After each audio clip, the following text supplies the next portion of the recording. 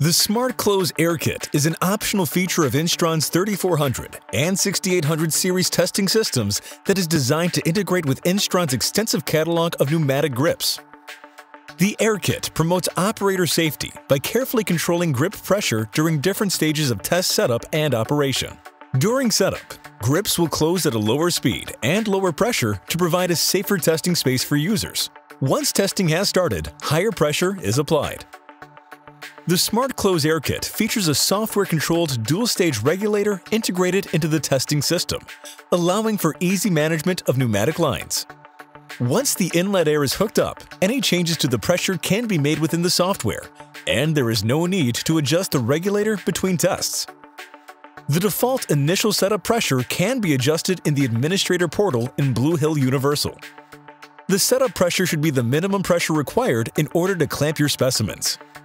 Your Instron service engineer can set this for you during the installation.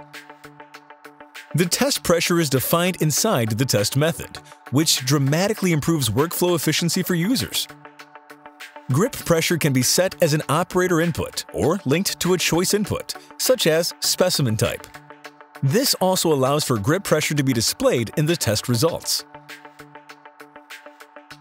The Smart Close Air Kit gives users the option of either a foot switch or toggle switches to operate the grips. The foot switch has a safety shroud to prevent accidental grip actuation and was designed with safety shoes in mind.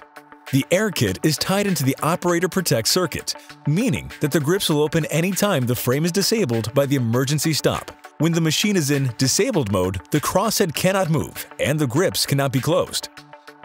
By improving workflow, integrating software with hardware, and using slower speeds and lower initial gripping pressure, the Smart Close Air Kit makes your testing simpler, smarter, and safer than ever before.